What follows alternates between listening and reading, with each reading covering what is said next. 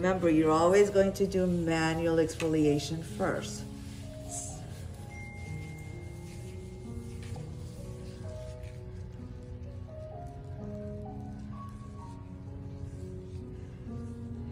Lip, cheek. Okay, my hands are getting a little dry. This is where I can go ahead and remove contact. Go back to the same section. So that is the three different areas that you can go ahead and remove contact are your chin, mm -hmm. your temple, and your forehead. Exfoliate. Push, press it twice. High. I like to work again in sections, separate my client in half. Stretch that skin. Make sure that it's really nice and even foliated. You can go up or you can go sideways with your BT micro. Make sure that you're getting all of that area. When you think of doing and separating your client in sections, just pretend you're painting her. Which area did you skip? Is not gonna have any paint on there. Down on the nose, you notice I'm not wiping it every single time down on the nose, up on the forehead, wipe, do the other side.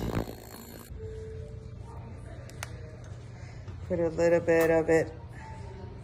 When you have your client exposed her décolleté, you are going to include it in most steps, except for the ones that indicate do not do the neck area or chest long, long, long strokes. Same thing on this side. I like to move a little bit to my side so that I have better ergonomics when I work.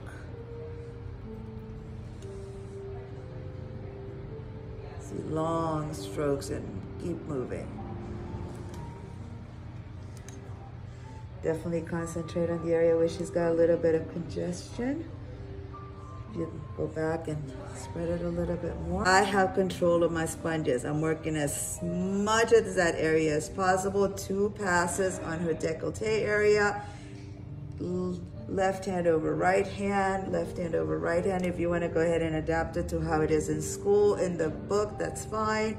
This is just a little bit more efficient way of doing it. Lift, lift.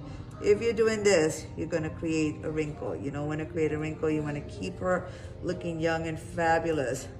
Cheek area, cheek area, nose, side of the nose, that bridge of the nose, forehead, forehead, forehead, forehead.